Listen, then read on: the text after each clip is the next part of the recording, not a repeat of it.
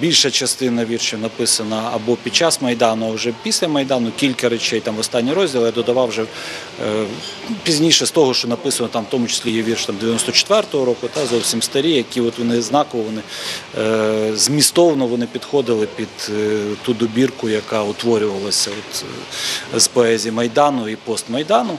Але головна частина все ж таки це от, там 2014-2018 рік, бо на початок е, 2008 е, 2017, бо на початок 2018 якраз вже було вона була сформована. Ну фактично тільки технічні питання залишалося намалювати і сформувати і надрукувати.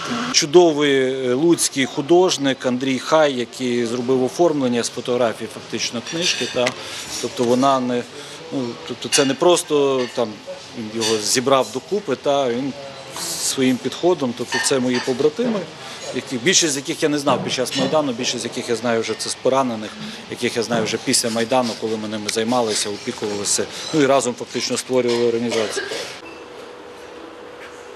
Коли ви бачите книжку десь в книжковому магазині, це одне. А коли ви спілкуєтеся безпосередньо вже і бачите, як її е, презентує безпосередньо поет, як він читає ті вірші, і ви бачите, які вони дорогі для нього.